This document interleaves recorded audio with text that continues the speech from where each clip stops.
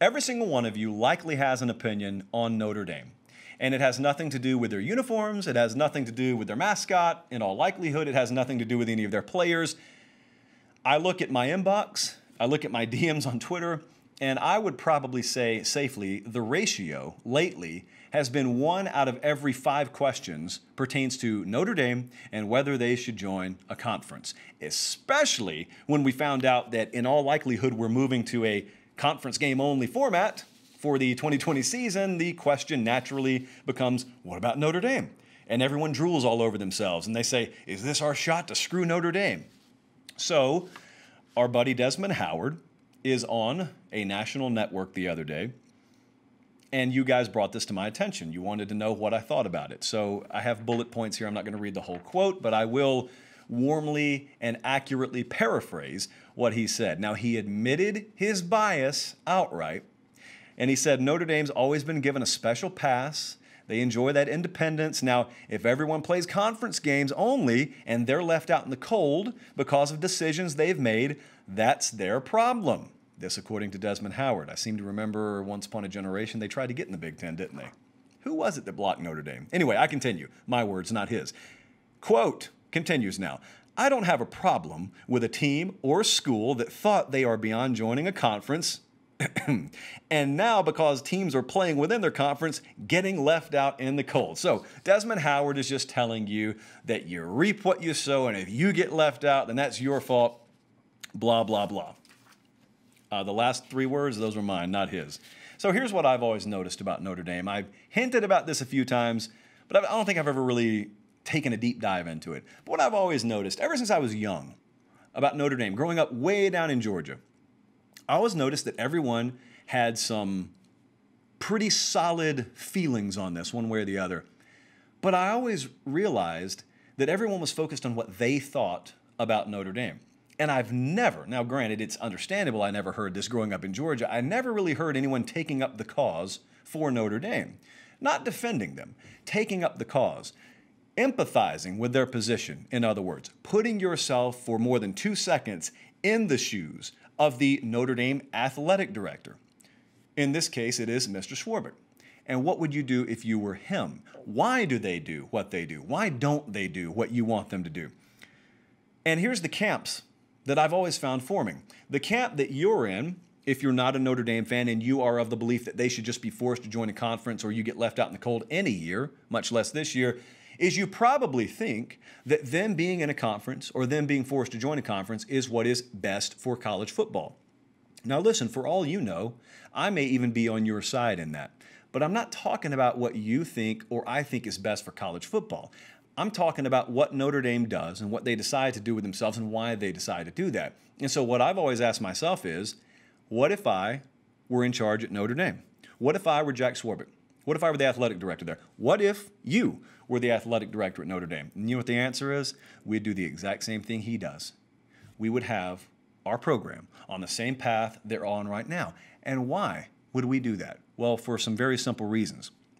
Because at that point, our job would not be about what is in the best interest of college football.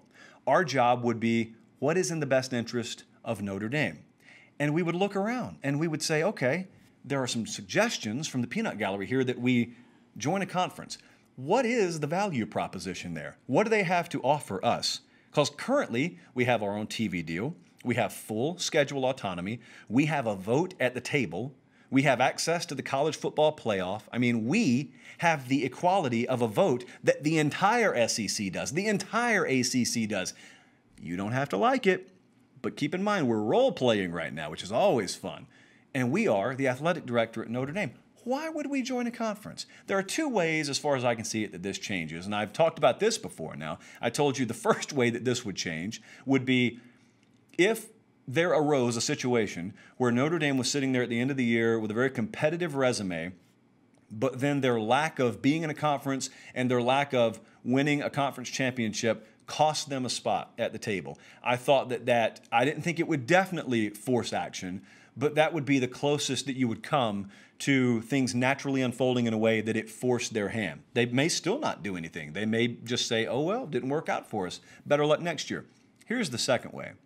And this is really where you should redirect your ire if you believe it's the best interest of college football for them to join a conference. The second way would be if the university presidents and really conference commissioners, um, at the behest of university presidents in some cases, in some cases, if they got together and they decided they were going to force Notre Dame's hand, could do it.